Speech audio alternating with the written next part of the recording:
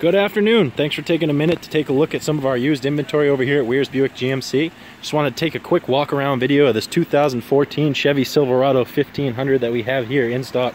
Let me tell you, this is a pretty one. Got the rectangular running boards on there.